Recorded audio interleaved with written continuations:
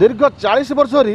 ନ୍ୟାୟର ଲଢ଼େଇ ଲଢ଼ୁଛନ୍ତି ବନ କର୍ମଚାରୀ ନିରଞ୍ଜନ ସାମଲ ନିଶ୍ଚିତ ଭାବରେ ଏହି ଚାଳିଶ ବର୍ଷ ତାଙ୍କ ପାଇଁ ଦୁଃଖ ଆଣିଦେଇଛି ଚାକିରିର ସ୍ଥାୟିତ୍ୱ ନଥିବାରୁ ଅନଶନ ପରେ ଏବେ ଆମରଣ ଅନଶନକୁ ଓହ୍ଲାଇଛନ୍ତି ମୁଁ ବର୍ତ୍ତମାନ ଦେଖିବାକୁ ଚାହିଁବି ବର୍ତ୍ତମାନ ଯେଉଁ ରହିଛନ୍ତି ଯେଉଁ ନିରଞ୍ଜନ ସାମଲ ରହିଛନ୍ତି ତାଙ୍କର ଯେଉଁ ଆମରଣ ଅନଶନକୁ ଓହ୍ଲାଇଛନ୍ତି ପାଖାପାଖି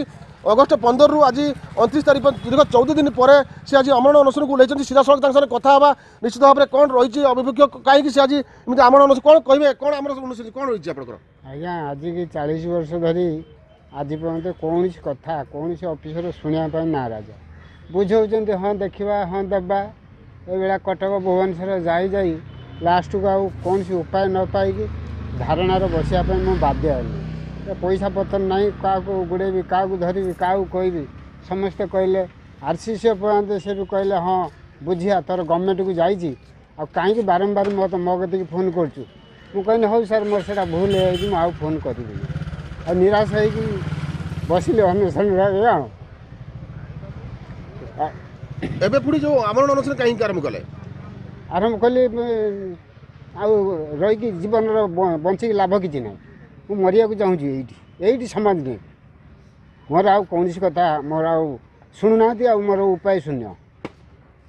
ନିଶ୍ଚିତ ଭାବରେ ଯାହା ପ୍ରତିକ୍ରିୟା ରଖୁଥିଲେ ଏ ଯେଉଁ ନ୍ୟାୟର ଲଢ଼େଇର ଲଢ଼ିବା ପରେ ସେ ଆଜି ପରାଜିତ ହୋଇଛନ୍ତି ନିଶ୍ଚିତ ଭାବରେ ତାଙ୍କର ଯେଉଁ ସ୍ଥାୟୀ ଚାକିରି ଥିଲା ତାହା ନହେବାରୁ ସେ ଆଜି ଶେଷ ଉପାୟରେ ଯେଉଁ ଆମରଣ ଅନଶନକୁ ଓହ୍ଲାଇଛନ୍ତି ତାଙ୍କ ପାଖରେ ତାଙ୍କ ଧର୍ମପତ୍ନୀ ଅଛନ୍ତି ସିଧାସଳଖ ତାଙ୍କ ସହିତ କଥା ହେବା କ'ଣ କହିବେ କାହିଁକି ଏମିତି ଆମରଣ ଅନଶନକୁ ଓହ୍ଲାଇଲେ ଆପଣମାନେ ବସିବୁନି ଆଉ କ'ଣ କରିବୁ ସରକାର ମୁଁ ଏତେ ଡାକିନି ମୁଁ ଏତେ ଇଏ କନୁ ଗୁଡ଼େଇ ଗୁଡ଼େଇକି ଦେଲେ ନେଇ ଚାକିରି ଆଉ ଲାଷ୍ଟକୁ ବସିନୁ ଅନଶନର ତେବିକି ଚାଳିଶ ବର୍ଷ ହେଲା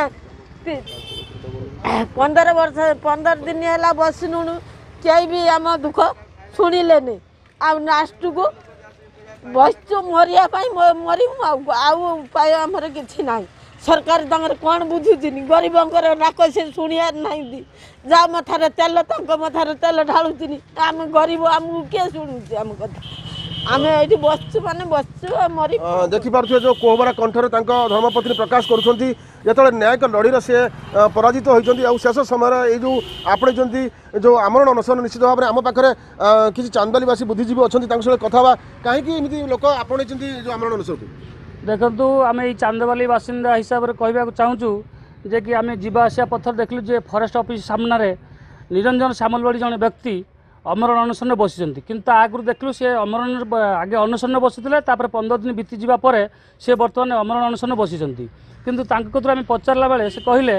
ଯେ ଦୀର୍ଘ ଚାଳିଶ ଅଣଚାଳିଶରୁ ଚାଳିଶ ବର୍ଷ ହେଇଗଲା ସେ ଏଇ ଫରେଷ୍ଟ ଡିପାର୍ଟମେଣ୍ଟରେ କାମ କରୁଛନ୍ତି କିନ୍ତୁ ଆଜି ପର୍ଯ୍ୟନ୍ତ ତାଙ୍କର ପରମାନେଣ୍ଟ କରାଯାଇ ନାହିଁ তেমনি আউ সে বোধে বর্ষ দুই বর্ষ ভিতরে তাঁর রিটায়ার হওয়া সময় বি আসিগলানি এপর্যন্ত রাজ্য সরকার তাঁকু পরমানেন্ট কলেনি কিংবা ফরেস্ট ডিপার্টমেন্টের যে বড় বড় অফিসর অনেক সে এপ্রতি ধ্যান দেলেনি যদি সরকার এইটা কিন্তু অতি অন্যায় করছেন কাহিঁকি না জনে চাশ বর্ষ বিতি যা পরে তাঁকু পরমানেন্ট নকরছেন এটা খুব তাঁক প্রতি অন্যায় হয়েছে আর রহলা বর্তমান দেখুন গোটে এমএলএ জিতুছি পাঁচ বর্ষ ভিতরে তাঁর দেড় লক্ষ দুই লক্ষ টাকা দরমা ডবল ভত্তা বহুত রকম ফ্যাসিলিটি মিলুছে এমপি এবং এমএলএ মানুষ অথচ জনে ফরেস্ট অফিসে চাশ বর্ষ ভিতরে কাম করা ভিতরে আজ পর্যন্ত তাঁকু পরমানেন্ট করাগলানি এ রাজ্য সরকার বহু তাঁর প্রতি অন্যায় করছে এবং আমি চান্দবালিবাসী জনসাধারণ হিসাব দাবি করছু তাঁকু তুরন্ত ন্যায় প্রদান করা যাও নিশ্চিত ভাবে যে প্রতীক্ষা রাখুলে স্থানীয়বাসী তাঁকু ন্যায় প্রদান করা যাও ଅନ୍ୟପଟେ ଯେ କହିବା ଦୀର୍ଘ ଚାଳିଶ ବର୍ଷର ଲଢ଼େଇ ପରେ ଯେତେବେଳେ ଶେଷ ସୀମାରେ ପହଞ୍ଚିଛନ୍ତି ଏବଂ ଚାକିର ସ୍ଥାୟିତ୍ୱ ତାଙ୍କର ହେଇନି ଏଇ ଏହାକୁ ନେଇକି ସେ ଆମରଣ ଅନଶନ କରୁଛନ୍ତି ଅନ୍ୟପଟେ ଦେଖିବା ଯଦି ତାଙ୍କର ଏଇ ସ୍ଥାୟୀ ଚାକିରି ପାଇଁ ସରକାର କୋଟି କୋଟି ଟଙ୍କା ଖର୍ଚ୍ଚ କରୁଛନ୍ତି ବନ ସୁରକ୍ଷା ପାଇଁ ହେଲେ ଆଜି ଯାଏ ଏ ଯେଉଁ ବନ କର୍ମଚାରୀ ଯିଏ ରହିଛନ୍ତି ତାଙ୍କ ପାଇଁ ସରକାର ଆଖି ବୁଜି ଦେଇଛନ୍ତି ନିଶ୍ଚିତ ଭାବରେ ତାଙ୍କ ପ୍ରତି ଅନ୍ୟାୟ ହେଉଛି ବୋଲି ତାଙ୍କ ପରିବାର ପ୍ରତିକାର ରଖୁଛନ୍ତି ଏବଂ ସାଧାରଣ ଲୋକ ପ୍ରତିକାର ନିଶ୍ଚିତ ଭାବରେ ସରକାର ଏଥିପ୍ରତି ଦୃଷ୍ଟି ଦେବାକୁ ସ୍ଥାନୀୟବାସୀ ଦାବି କରିଛନ୍ତି ଚାନ୍ଦନ ଭାଗ୍ୟସେଠୀ ଅର୍ଗସ୍ ନ୍ୟୁଜ୍